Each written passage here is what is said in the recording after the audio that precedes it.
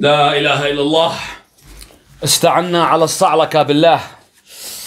أنتوا جيتوا؟ أنا أعرفكم ما تيجوا إلا في المصايب. عموما أحب أبشركم إن إحنا خلاص بطلنا دراسة.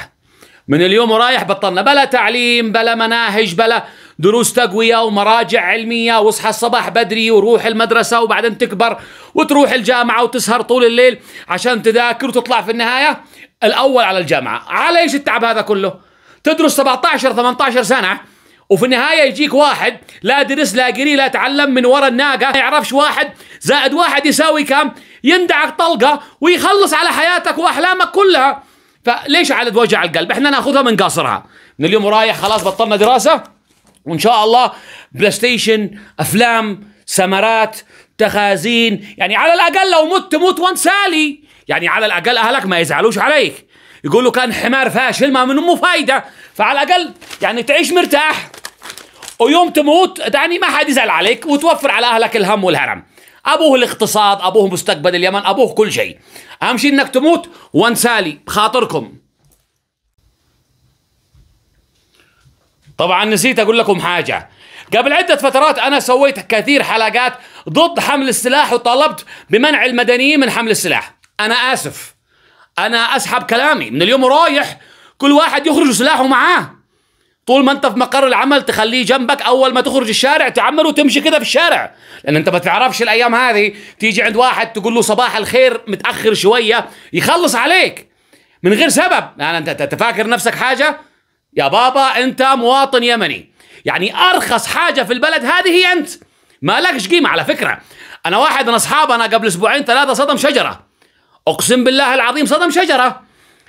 أخذوه حق عام واحتبس وحجزوا السيارة وغرموه سبعة ألف على كل سنة من يوم ما اتزرعت الشجرة. والشجرة مزروعة من أيام الحمدي. الرجال طلع عليه 2 3 مليون ريال. 2 3 مليون ريال طلع على الرجال. وفي النهاية بعد الوساطات والدخلة والخرجة رسد ب 120 ألف ريال حق عام. هذا عشان صدم شجرة. وانت تضرب رصاصة وتقعد في الأرض تنزف عشر دقائق على بعد عشر أمتار من غرفة رجال الأمن. عادي. فمن هنا ورايح تخرج سلاحك معك. طبعا إحنا لو جبنا سلاح حقيقي بالشاشة هيحضروا الفيديو. فتجيب سلاحك معك وسدسك عرضك. اثنين قنابل هنا احتياط تعصبوا عليك مجموعة. لا لسه صاروخ الأكتاف مش الآن صواريخ الأكتاف في المرحلة الجاية. يعني تخيل تقوم الحرب فجأة. يعني تكون أنت فجأة قاعد كده طالب سندوتشين بتفطر كده مع نفسك أو بتتعشى آخر الليل مناوب فجأة يجيك بلا مستعجل ما تعرفش من فين جاك. تلاقيه خلص عليك فمن هنا ورايح كل واحد يخرج سلاحه معاه. اللهم إني بلغت اللهم فشهد خاطركم. تعال أحكي لك.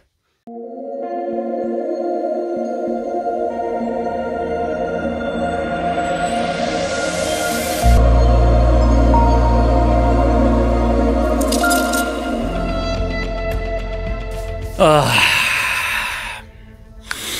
بسم الله الرحمن الرحيم. رب اشرح لي صدري ويسر لي أمري واحلل عقدة من لساني يفقه قولي. اصدقاء المتابعين في كل مكان السلام عليكم ورحمة الله وبركاته وتحية طيبة.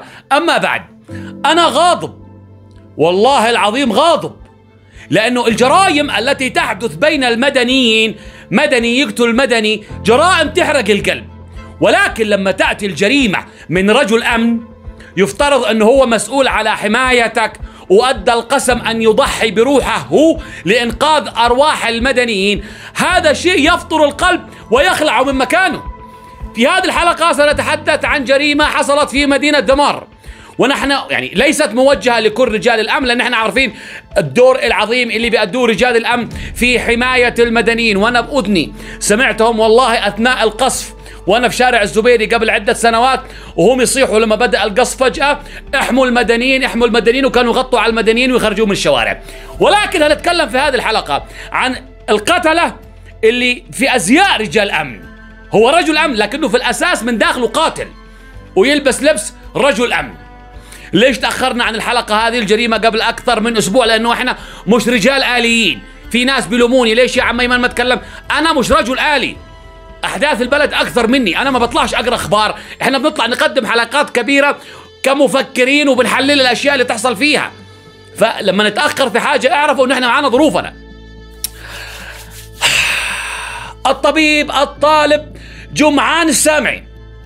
طالب في سنة الامتياز طب بشري في جامعة دمار. كان باقي له أسبوعين ثلاثة ويتخرج. 12 سنة دراسة من أول ابتدائي لثالث ثانوي وبعدين سبع سنوات دراسة طب باقي له أسبوعين ثلاثة ويخرج ويتهنى ويحقق حلم عمره. وأبوه مغترب في السعودية وكان مقرر إنه أول ما ابنه يتخرج ويتوظف هو هيرجع هنا. تعب. طول يا أبوه طول. اقعد. والله إنك مطول في السعودية خليك هناك. آخر يوم استشهد فيه الطبيب الطالب الخلوق الودود كما وصفه الجميع. كان مناوب في مستشفى الوحدة التعليمي التابع لجامعة دمار. بعد منتصف الليل خرج عشان ياخذ له حاجة ياكلها يسد بها جوعه مسكين يعني مات جوعان كمان. من بوفية المستشفى. كلنا شفنا فيديو الجريمة ولن أعرضه هنا راح للبوفية طلب له عشاء. كان في واحد آخر يدعى عبد الله المتوكل. مع احترامنا البيت المتوكل طبعا والبيت السامعي الأسرتين كبيرات. واحد هناك اسمه عبد الله المتوكل بيقولوا فرد أمن في المستشفى. هو واضح إنه فرد أمن في المستشفى. لا قيادي ولا الكلام الفاضي هذا. قاعد هناك جنب البوفيه على الكرسي والطاولة. شاف الطا... يعني الأخ جمعان وهو واخذ عشاء قال له تعال جنبي. طيب قاعد جنبه استمر بينهم حديث إحنا مش عارفين. الكاميرا بدون صوت وبعيد أصلا. استمر بينهم حديث لمدة ثلاث دقائق. لا أحد يعلم ما الذي دار بينهما. ثلاث دقائق كلام بهدوء. فجأة شفنا في الفيديو إنه القاتل قام يجري وجمعان الطالب كان بيجري وراه عشان يمسك منه الآلي. كان واضح إنه عارف إنه ناوي يقتله.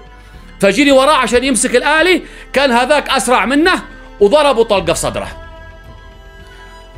ما قتلش إنسان لا هو قتل أسرة بأكملها.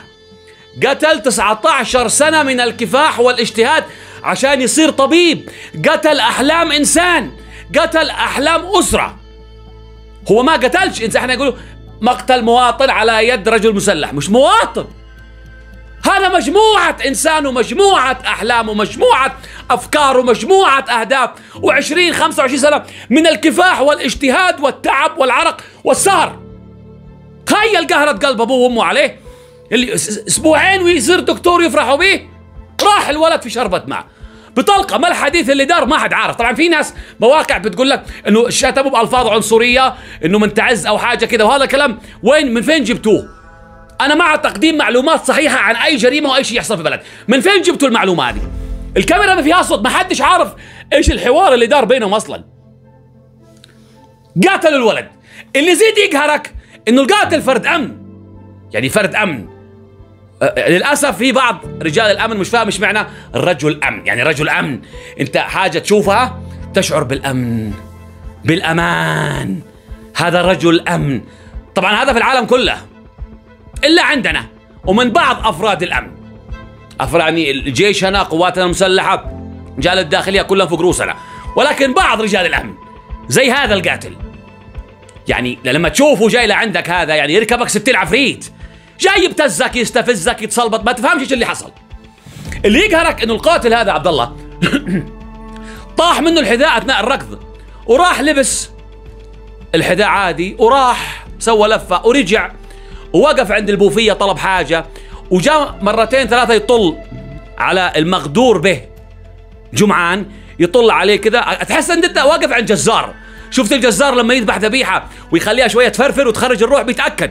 يعني لو كان أطلق عليه الرصاص وقام يجري يشيله ويسعفه لداخل المستشفى كنا هنقول يمكن حصل خلاف يمكن ساعة شيطان فضربوا عشان يحصل. لا هذا قتل مع ببرود.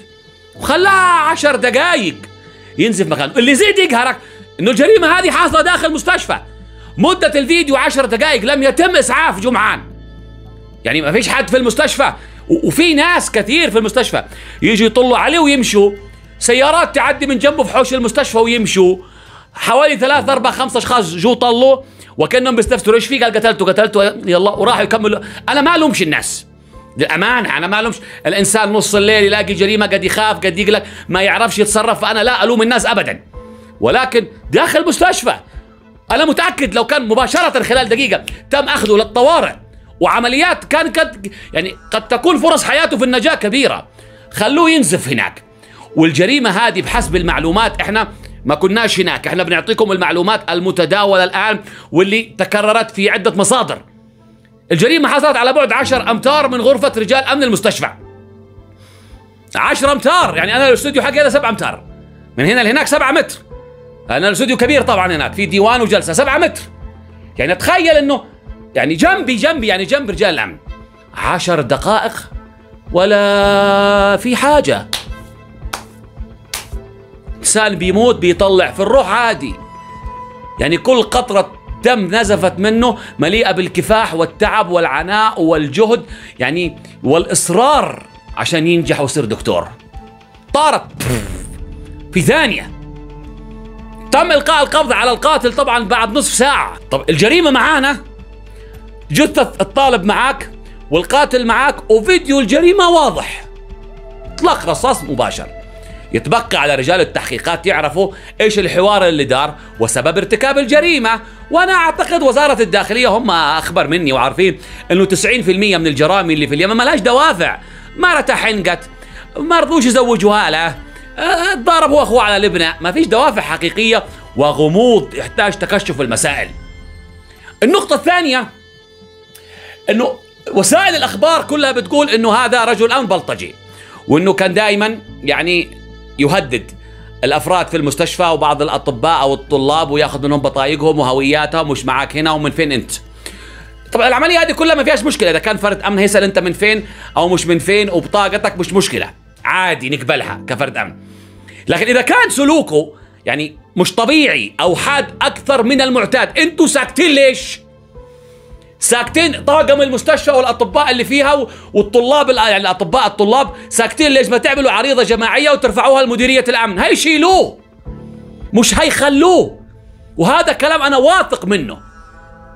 الكارثة الثالثة لما يكون رجل أمن قاتل هي هذه اللي تقهرك. ولكن هذا يستدعي تحقيق موسع كيف رجل أمن يقتل مواطن طالب داخل كلية أو داخل مستشفى تعليمي تبع جامعة؟ يعني كل معالم القدسية اجتمعت هنا. مستشفى تعليمي تبع جامعة طالب طبيب. طلقة وطاير راسه. طبعا الطلقة جات له في الصدر ونزف لما مات. واللغز إيش الحوار اللي دار؟ وما كانش في بدايه مشادة أو سحبلة أو دهفة لا. كانوا قاعدين فجأة. قاعدين فجأة الاثنين قاموا يجروا وقتلوا. إيش اللي حصل بينهم؟ وايش اللي دار في الحوار. طبعا أنا بكل تأكيد ما ودي أثير الهلع. يعني لأنه هذه في النهاية حادثة فردية. وإحنا عارفين إيش بيفعلوه رجال الأمن عشان يحموا المواطنين في كل مكان. ولا نشكك ابدا في وزارة الداخلية وفي وفي التحقيقات وفي البحث الجنائي اللي استلم هذا الملف. تم إلقاء القبض عليه بعد نصف ساعة. ونتمنى أن نشوف محاكمة عادلة لهذه الجريمة. نتمنى نشوف محاكمة عادلة. إحنا نتمنى طبعا لا نستعجل رجال الدولة والتحقيقات إنهم يكشفوا إيش اللي دار بينهم وما هو السبب القتل. إذا كان السبب كذا بس تصنيفه ضبح هم قالوا طلب منه أدوية ممنوعة وما رضيش يصرفها. وهذا الشيء ما حد يعرفه لأنه كانوا على جنب وحدهم في الظلمة في حوش المستشفى.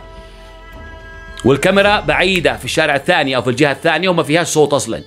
فيفترض الدولة تعرف إيش؟ إذا الجريمه جريمة قتل كذا فهذا أعتقد إنه يجب أن يوجه إلى المحاكمة في أسرع وقت ممكن. تعازينا لأهالي جمعان لزملائه للطلاب أصدقائه لكل الناس اللي يعرفوه. الله يلهمكم الصبر والسلوان إن شاء الله ويجزاكم على ما اصطبرتم واحتسبتم الجنة. أما جمعان فإن شاء الله شهيد في دار الخلد. وأكيد اللي عند الله أجمل من اللي في الدنيا واللي في اليمن. أكيد اللي عند الله أجمل. فاصطبروا واحتسبوا وثقوا في رجال الداخلية وتابعوا وراء هذه القضية وإن شاء الله تنتهي على خير. أصدقاء المتابعين في ختام الحلقة لا تنسوا الاشتراك في القناة تفعيل زر الجرس عشان يوصلكم كل جديد مما يحدث في اليمن. اعدعمونا بإعجاب عشان يرتفع ريت الفيديو. إذا أعجبكم الفيديو طبعا شاركونا آراءكم في التعليقات. وحتى أراكم في حلقة أخرى. هذه لكم مني تحية أنا أيمن القاسمي. دمتم بحفظ الله ورعايته.